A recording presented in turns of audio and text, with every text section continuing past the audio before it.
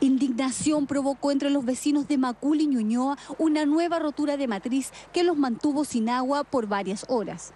El hecho se produjo cerca de las 5 de la mañana. Una fuerte explosión despertó a los vecinos quienes se percataron que en la esquina de Rodrigo de Araya con Avenida Pedro de Valdivia, en el límite de las comunas de Ñuñoa y Macul, había un escape de agua que rápidamente se transformó en inundación, dando aviso a la compañía de agua potable. Eh, a las 4.30 se acercó Carabinero al frente para anunciarme que se había reventado la...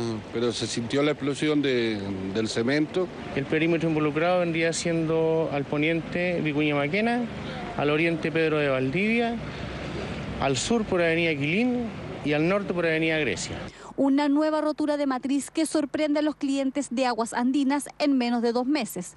Una nueva inundación que motivó a los habitantes de este sector a improvisar variadas formas para movilizarse y cruzar la calle.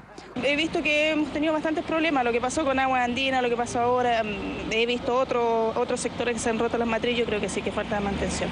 Afortunadamente el agua no alcanzó a entrar a las viviendas, como ocurrió el 30 de enero pasado en Puente Alto. Sin embargo, esta situación dificultó y entorpeció las actividades normales de los vecinos. Cerca de una hora después de ocurridos los hechos, personal de Aguas Andinas se hizo presente en el lugar para resolver el problema.